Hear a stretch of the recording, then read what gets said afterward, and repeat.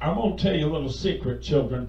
God doesn't want his people running around with a whole bunch of unfinished business.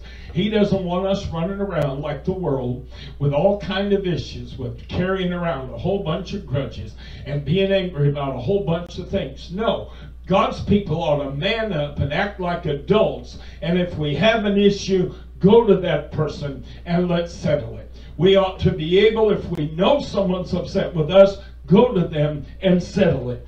I have written messages online by email and what have you over Facebook.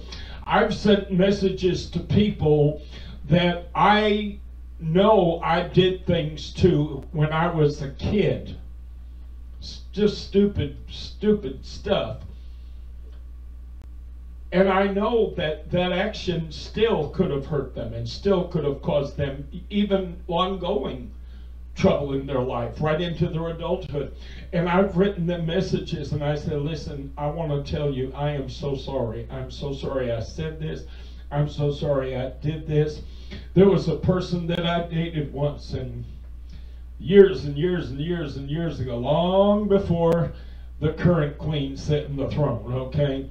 And this person, I really liked this person a lot.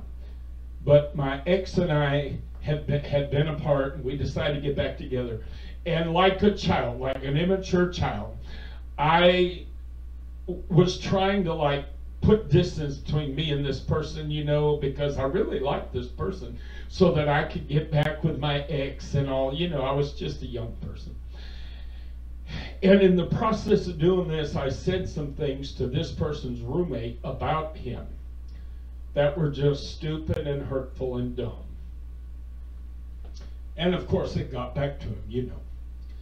Well, years and years and years later, I never forgot that I did that. I, I, I never forgot that I did it because I knew how stupid it was.